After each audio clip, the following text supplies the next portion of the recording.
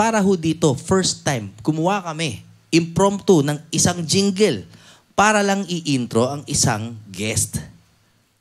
Ready na ba kayo? Kailangan bongga to dahil suportado ko ang mama na ito. Nandito na po ang aking kaibigan at magiging senador. Senator Ray Longet!